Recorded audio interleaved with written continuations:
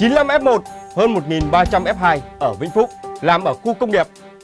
Nắng nóng trải dài từ Bắc vào Nam, có nơi trên 40 độ C. Trung Quốc trả Việt Nam 40 công dân nhập cảnh trái phép. Hamas bắn tên lửa vào Israel. Đài Loan cam kết tăng cường cung cấp chất bán dẫn cho châu Âu. Tập Cận Bình đẩy mạnh thanh trừng các cựu lãnh đạo doanh nghiệp quốc phòng. Bắc Kinh tức giận khi Tổng thống Đài Loan được mời phát biểu tại Hội nghị Thượng đỉnh Dân chủ Đan Mạch. Tổng thống Biden tự tin sẽ gặp người đồng cấp Putin. Đảo ngược chính sách của ông Trump, chính quyền Biden hỗ trợ chuyển đổi giới tính. Công ty Disney khuyến khích nhân viên da trắng quyên góp cho Black Lives Matter. Cuba bắt đầu tiêm chủng đại trà bằng vaccine cây nhà lá vườn. Bình luận, phải chăng thời cơ chiến lược của Tập Cận Bình đang khiến eo biển Đài Loan ngày càng nóng lên? Quý vị đang theo dõi bản tin trưa ngày 11 tháng 5 của DKN TV. Tiếp sau đây là các nội dung chi tiết.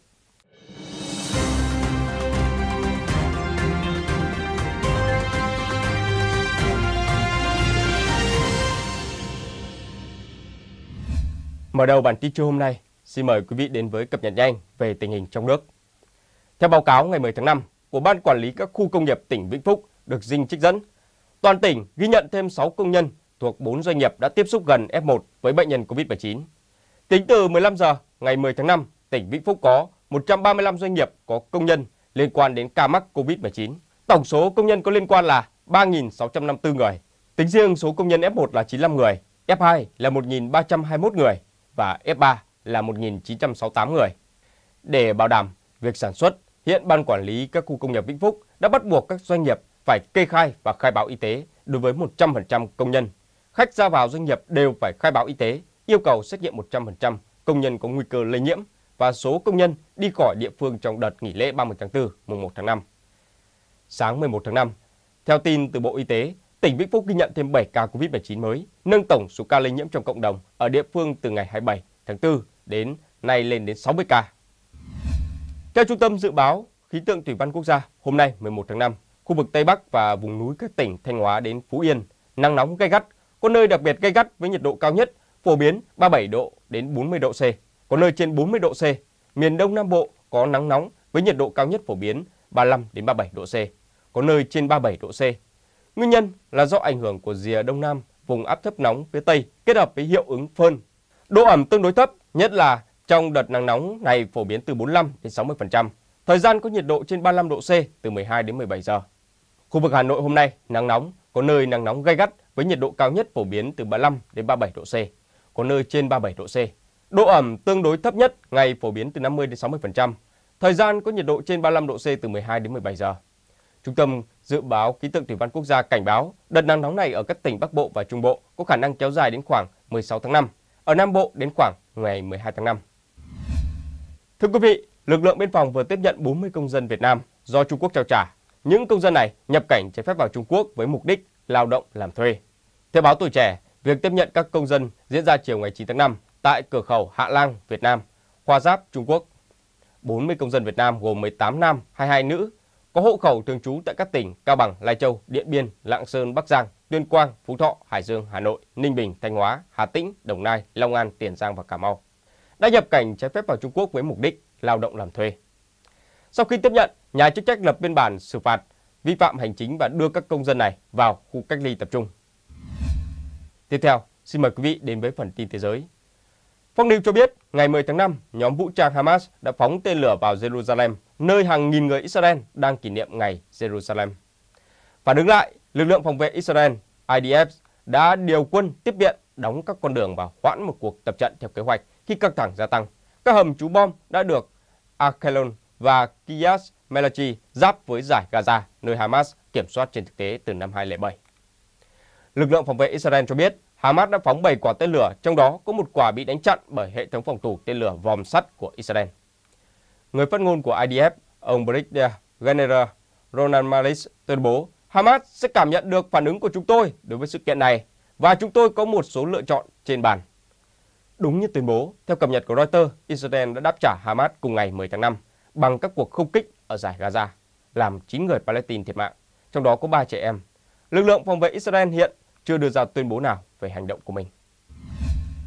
Ở diễn biến khác, hôm 10 tháng 5, Tổng thống Đài Loan Thái Anh Văn đã đề nghị làm việc với Liên minh châu Âu EU để thúc đẩy nguồn cung cấp chất bán dẫn cho của nước này trong bối cảnh toàn cầu đang thiếu chip.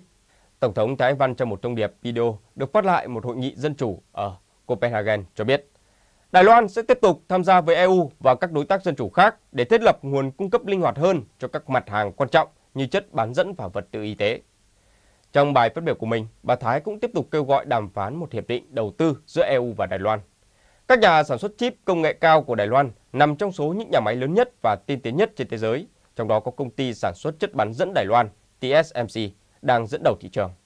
Hội nghị thượng đỉnh dân chủ Copenhagen, nơi bà Thái có bài phát biểu, được tổ chức bởi Liên minh các nền dân chủ AOD do cựu lãnh đạo tổ chức NATO Anders Fogh Rasmussen khởi xướng. Theo AFP, Liên minh các nền dân chủ là đối tượng bị các hãng truyền thông của Trung Quốc nhắm tới trong một cuộc công kích vào tháng 3 2021. Nikkei hôm 11 tháng 5 cho hay, Chủ tịch Trung Quốc Tập Cận Bình đã và đang nhắm mục tiêu vào các cựu giám đốc điều hành các doanh nghiệp quân sự, bao gồm cả những người tham gia vào chương trình hạt nhân và phát triển hàng không mẫu hạm. Vào tháng trước, chính phủ Trung Quốc đã công bố các cuộc điều tra đối với Yin Chasu, chủ tịch một thời của tập đoàn China North Industry và Liễu Hống Trân, một giám đốc điều hành tại China National Nuclear Corps. Cả hai đều bị nghi ngờ vi phạm kỷ luật và pháp luật nghiêm trọng. Thuật ngữ thường được Bắc Kinh sử dụng để ám chỉ hành vi tham nhũng. Yin từng là chủ tịch của China North Industry, nhà thầu quân sự từ năm 2013 đến 2018. Trước đó, ông từng là phó tổng giám đốc tại China South Industry Group, một nhà sản xuất thiết bị quân sự trong khoảng thời gian từ năm 2002 đến năm 2010. Trong thời gian đó, ông cũng là người đứng đầu tập đoàn Chankan Automobile Group đã liên doanh với Ford Motor và Mazda Motor. Lưu trước đây là giám đốc điều hành tại một công ty quản lý tài sản trực thuộc Tập đoàn Xây dựng và Kỹ thuật Hạt nhân Trung Quốc. Công ty này vào năm 2018 đã hợp nhất với các nhà phát triển vũ khí hạt nhân Trung Quốc National Nuclear Corps, được nhiều người coi là một phần quan trọng của tổ chức công nghiệp quân sự Trung Quốc. Sau khi hợp nhất, Liêu giữ chức Phó Tổng Giám đốc. Vào tháng 1 2021, nhà chức trách đã bắt giữ Hú Uấn Minh, cựu Chủ tịch Tập đoàn Công nghiệp đóng tàu Trung Quốc vì tình nghi nhận hối lộ và lạm dụng quyền lực. Hu đã giám sát quá trình đóng hàng không mẫu hạm Sơn Đông, hàng không mẫu hạm tự chế đầu tiên của Bắc Kinh. Nikkei cho biết các mục tiêu thanh trừng mà ông Tập nhắm tới gần đây, chẳng hạn như Yin và Hu, đều là những người có mối quan hệ sâu sắc với cựu Tổng bí thư Giang Trạch Dân hoặc những người thân cận với Giang. Thưa quý vị, Ngoại trưởng Đan Mạch và Tổng thống Đài Loan Thái Anh Văn đã bảo vệ các giá trị dân chủ tại Hội nghị Thượng đỉnh Dân chủ Copenhagen hôm thứ Hai, ngày 10 tháng 5. Trung Quốc sau đó cáo buộc Hội nghị Thượng đỉnh là một trò hề chính trị can thiệp vào công việc nội bộ của Trung Quốc. Cụ thể, tại Hội nghị Ngoại trưởng Đan Mạch Jeff Kofod đã lên án các lệnh trừng phạt gần đây của Trung Quốc đối với Liên minh châu Âu là tồi tệ và ám chỉ cần phải phản ứng mạnh mẽ hơn đối với các hành động của Trung Quốc. Ông nói, khi các giá trị phổ quát như nhân quyền và tự do ngôn luận bị áp lực, chúng ta cần phải đứng vững hơn và phản ứng nhanh hơn và mạnh mẽ hơn. Ngoại trưởng Coffer cho biết ông đang chuẩn bị một chiến lược an ninh và chính sách đối ngoại dựa trên giá trị mới. Trong bài phát biểu qua video tại hội nghị thượng đỉnh, Tổng thống Đài Loan Thái Anh Văn đã kêu gọi hợp tác toàn cầu để bảo vệ các giá trị dân chủ đang ngày càng bị xói mòn do sự bành trướng của hệ thống độc tài. Bà nói rằng việc duy trì dân chủ, hòa bình và ổn định là trách nhiệm chung của tất cả mọi người và do đó Liên minh Dân chủ toàn cầu phải được củng cố để bảo vệ tự do, pháp quyền, nhân quyền và không gian, bày tỏ bất đồng chính kiến. Đáp lại, người phát ngôn của Đại sứ quán Trung Quốc tại Đan Mạch nói rằng hội nghị thượng đỉnh là một trò hề chính trị ngoài lề, đồng thời chỉ trích việc mời Tổng thống Đài Loan Thái Anh Văn và nhà hoạt động dân chủ Hồng Kông Lúa Quan Cung tham gia hội nghị thượng đỉnh là sự can thiệp vào công việc nội bộ của Trung Quốc. Tiếp theo, xin mời quý vị đến với một số cập nhật đáng chú ý khác. Tổng thống Mỹ Joe Biden hôm 10 tháng 5 cho biết cuộc gặp của ông với người đồng cấp Nga Vladimir Putin sẽ diễn ra. Ông Biden đã có bài phát biểu tại Tòa Bạch Ốc về tác động kinh tế của đại dịch. Cuối bài phát biểu, một phóng viên hỏi Biden rằng liệu ông có nghĩ rằng Nga có liên quan đến vụ tấn công mạng gần đây nhằm vào nhà điều hành đường ống dẫn nhiên liệu Colonial Pipeline hay không? Ông Biden đáp, cho đến nay không có bằng chứng dựa trên những nhân viên tình báo của chúng tôi cho thấy Nga có liên quan. Tuy nhiên, ông Biden sau đó nói rằng phần mềm tống tiền được sử dụng ở Nga và do đó Nga có một số trách nhiệm giải quyết vấn đề này. Tổng thống Mỹ nói thêm rằng ông sẽ có cuộc gặp với Tổng thống Nga.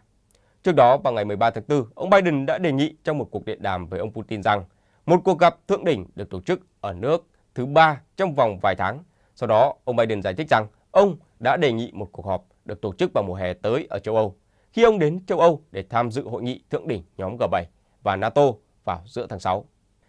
Trước đó, người phát ngôn Điện Kremlin Dmitry Peskov nói rằng các bước đi thù địch của Mỹ đối với Nga làm phức tạp thêm việc phân tích tình hình để đưa ra quyết định về cuộc gặp với ông Biden.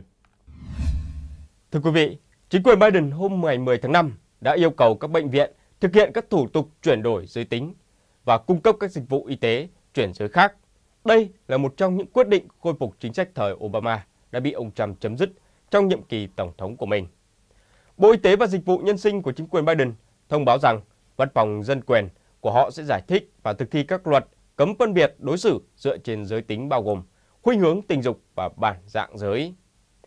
Theo yêu cầu mới của chính quyền, các bệnh viện, phòng khám và các nhà cung cấp dịch vụ y tế khác một lần nữa phải chịu các biện pháp trừng phạt nếu họ từ chối phẫu thuật chuyển đổi giới tính, chẳng hạn như cắt tử cung hoặc điều trị hormone cho những người xác định là chuyển giới.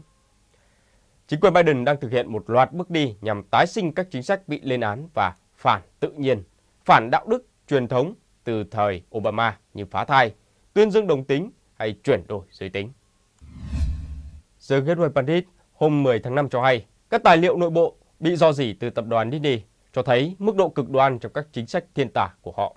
Một trong số những chính sách đó là yêu cầu các nhân viên người da trắng tiếp cận các tài liệu đề cập tới cách đánh bại cảnh sát và quyên góp cho phong trào Black Lives Matter. Disney cũng đang giúp thúc đẩy lý thuyết chủng tộc phê phán, một lý thuyết có nguồn gốc từ các luận thuyết về đấu tranh giai cấp của chủ nghĩa Marx. Tài liệu do nhà báo Christopher Rufo thu thập được từ Disney cho thấy công ty bị cho là thân Bắc Kinh đang khiến các nhân viên da trắng đọc các tài liệu như 75 điều người da trắng có thể làm vì công lý chủng tộc và con bạn không còn quá nhỏ để nói về chủng tộc. Thưa quý vị, Cuba bắt đầu tiêm chủng hàng loạt các vaccine COVID-19 tự sản xuất và dự kiến sẽ hoàn thành quá trình này vào tháng 8.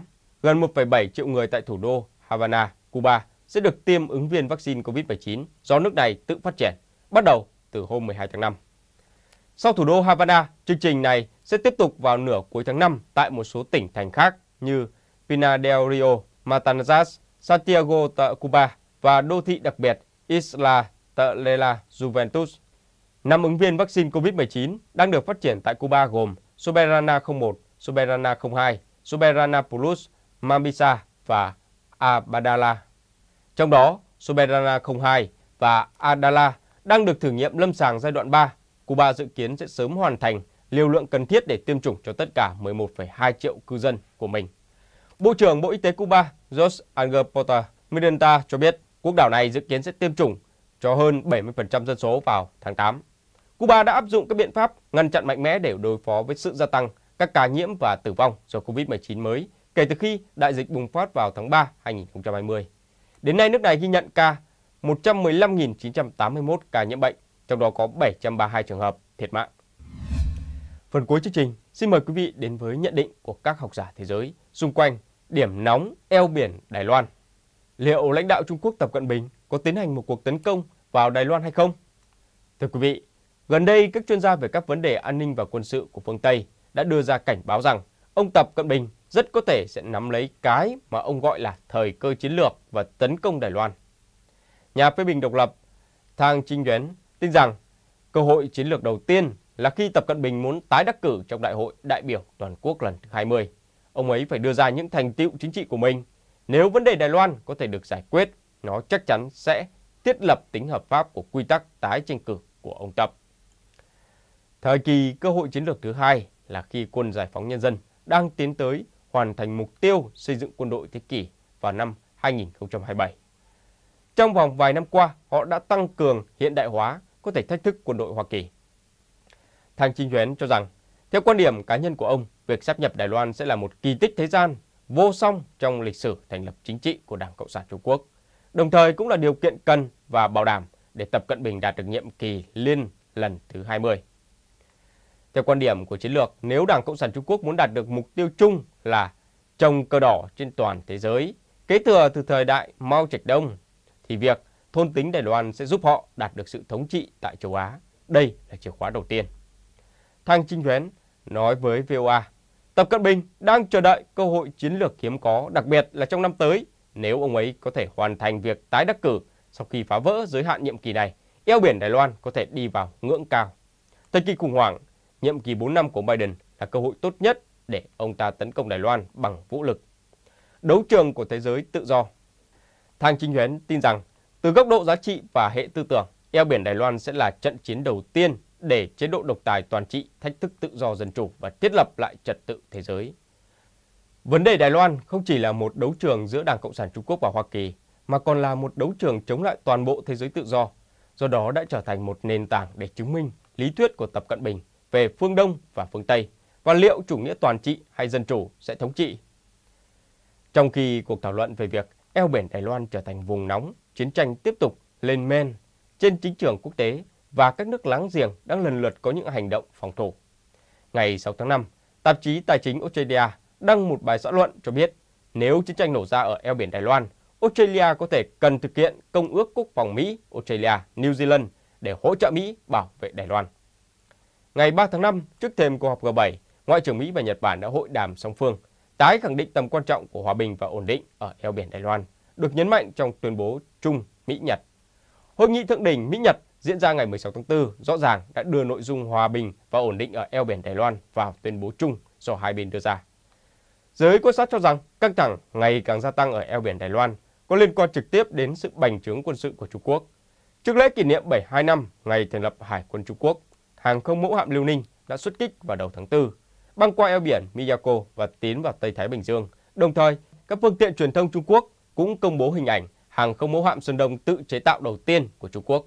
Mặc dù hiệu suất của hàng không mẫu hạm Trung Quốc thua xa hàng không mẫu hạm Mỹ, nhưng việc Trung Quốc là quốc gia duy nhất ở châu Á có hàng không mẫu hạm kép đã khiến các nước láng giềng cảnh báo. Tại phiên họp toàn thể lần thứ 5 của Ban chấp hành Trung ương Đảng Cộng sản Trung Quốc lần thứ 19 diễn ra vào năm ngoái, Đảng Cộng sản Trung Quốc đã đưa ra mục tiêu kỷ niệm 100 năm ngày thành lập Quân Giải phóng Nhân dân, cam kết đẩy nhanh hiện đại hóa quốc phòng và quân đội, hiện thực hóa đoàn kết của một đất nước thịnh vượng và quân đội mạnh, bảo đảm hoàn thành mục tiêu xây dựng quân đội thế kỷ vào năm 2027. Thế giới bên ngoài cho rằng thời điểm năm 2027 là cơ sở chính để Davidson, cựu tư lệnh Bộ Tư lệnh Ấn Độ Dương Thái Bình Dương của Hoa Kỳ, dự đoán rằng Đảng Cộng sản Trung Quốc sẽ tấn công Đài Loan trong vòng 6 năm. Tuy nhiên, nhà phê bình độc lập Thang Trinh Huyến nói rằng kể từ khi Đảng Cộng sản Trung Quốc thành lập chế độ, việc chuẩn bị cho các cuộc tấn công vũ trang vào Đài Loan chưa bao giờ được nới lỏng. Vì vậy, việc huy động quân sự của chế độ không phải là vấn đề.